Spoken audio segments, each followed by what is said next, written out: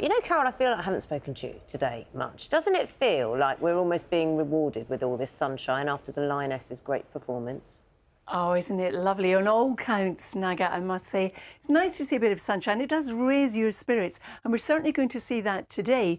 But as we go through tomorrow, the weather's going to change for a day and a bit as we see a return to rain moving in from the southwest, pushing northeastwards, clearing the far northeast early doors on Saturday. Then things settle down away from the northwest. We will hang on to some showers, but for the rest of us, it will be mostly dry.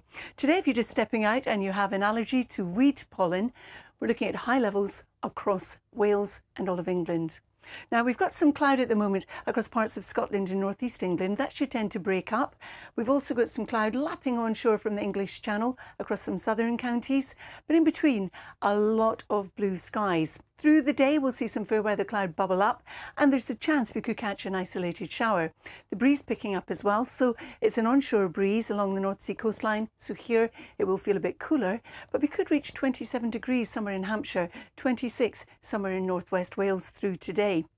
This evening and overnight, again, a lot of clear skies to start, but then through the night, the cloud will build from the southwest, heralding the arrival of a weather front, which is going to bring in some heavy and potentially thundery rain by the morning, and increasingly, it's going to feel humid.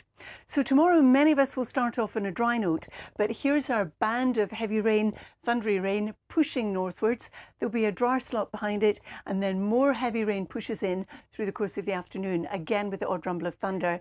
Gusty winds along the northwest coast of Wales, and we're also looking at it turning quite humid in southern areas, but it will be fresher across the far north of Scotland. And here, Naga, it will actually feel quite pleasant in the sunshine.